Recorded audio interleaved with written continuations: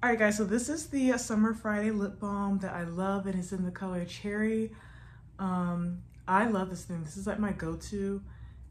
And let me show you guys what it looks like. Look at that, so pretty. And then this is what a, a swatch. Very pigmented. A lot of glosses sometimes don't really have a lot of pigment on them and I love that this one does. I don't have pigmented lips so I like using anything with like a little hint of color just to add to my lips if I want everyday wear. So here we go. Mm -hmm. See, it's not even overbearing. It's like an everyday, like a berry type. Love it.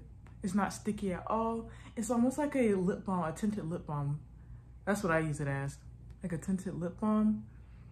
It's like a your lips but better type of thing. See that shine? I don't even do a lot.